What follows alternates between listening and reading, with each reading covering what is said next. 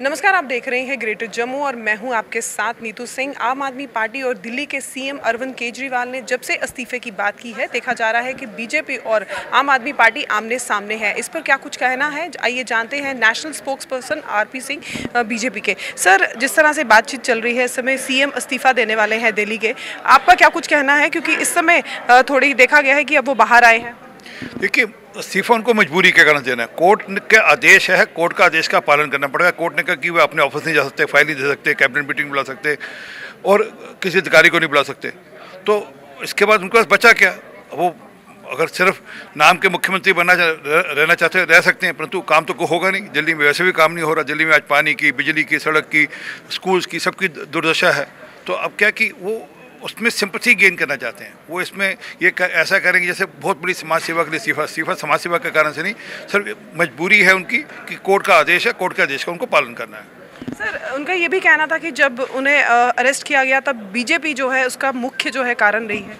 नहीं नहीं अरेस्ट तो उनके कर्मों के कारण से किया जाए, जो उन्होंने जो उन्होंने कुकर्म किए, उसके कारण से किया गया, जो भ्रष्टाचार किया उसके कारण से किया और कोर्ट ने भी मान्य किया कि हाँ प्रथम दृष्टा ये मामला है। ये सुप्रीम कोर्ट में भी और लोअर कोर्ट में भी माना गया कि प्रथम दृष्टा ये मामला है। इसलिए उनके खिलाफ ये मुकदमा चलना चाहिए। और कोर्ट ने मान्य किया, तभी तो मुकदमा चल रहा नहीं तो मुकदमा ही नहीं चलता। नहीं तो कोर्ट कहता सीबीआई को, भैया, ये कूड़े की टोकरी फेंको, तुम सब झूठ बोल रहे हो। कोर्ट ने मान्य किया कि, और एक जगह कोर्ट की, ये भी ऑब्जर्वेशन किसी कोर्ट की तीन सौ अड़तीस करोड़ रुपये का घोटाला हुआ है। कहीं ये भी ऑब्जर्वेशन है कि पैसा ट्रांसफ़र हुआ है। तो ये सब के कारण से मुकदमा चलेगा। हाँ बेल एक नॉर्मल प्रोसीजर है। लालू यादव को भी बेल मिली थी जो जिन्होंने कन्हैया कुमार का कत्ल किया राजस्थान के अंदर उनको भी बेल मिल गई है।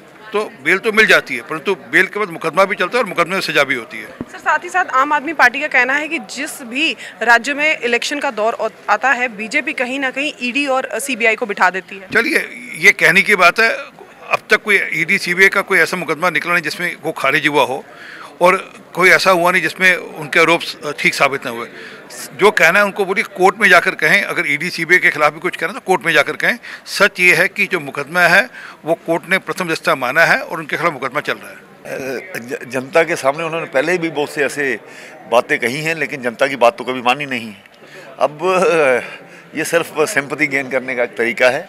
बाकी उनको भी पता है अब जेल में रहना है तो इस्तीफा देना ही चाहिए। सर भारत सोलंकी उनका ये मानना है कि अगर एनसी और कांग्रेस की सरकार आती है तो जम्मू कश्मीर में कुछ जो मुद्दे हैं उन पर उनका विशेष तौर पर ध्यान रहेगा। खासकर बात की जाए स्टेटहुड धारा 370 और यहाँ पर जो बेरोजगारी है वो ज़रूर यहाँ पर जो है वो ख़त्म की जाएगी और एक बड़ी पार्टी बनकर जो है जम्मू कश्मीर में एनसी और कांग्रेस उभरेगी।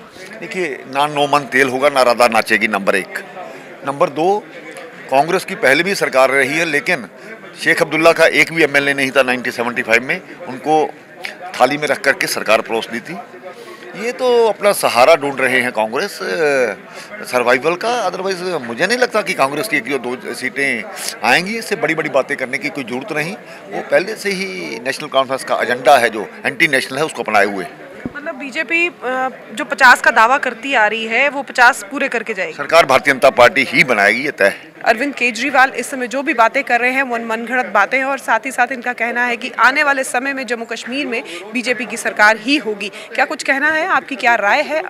कमेंट सेक्शन में अपनी राय ज़रूर रखिएगा। तब तक के लिए मुझे दीजिए इजाज़त। कैमरामैन अजय साडू के साथ मैं नीतू सिंह ग्रेटर जम्मू के लिए धन्यवाद।